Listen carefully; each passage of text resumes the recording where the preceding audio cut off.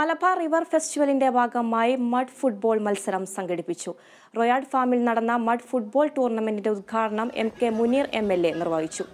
Omassery panchayat president Abdul Nasar അധ്യക്ഷനായി. ഉദ്ഘാടന മത്സരത്തിൽ challenge V O D Omassery Shanthi hospital ടീമുകൾ ഏറ്റുമുട്ടി. Ranjana F C challenge V O ഡിയും തമ്മിലായിരുന്നു ഫൈനൽ മത്സരം. വിജയികൾക്ക് Linto Joseph M L A സമ്മാനങ്ങൾ വിതരണം ചെയ്തു. ഓഗസ്റ്റ് ആദ്യവാരം ചാലിപ്പുഴയിലും ഇരവഞ്ഞിപ്പുഴയിലുമാണ് മലബാർ റിവർ ഫെസ്റ്റിവൽ നടക്കുക.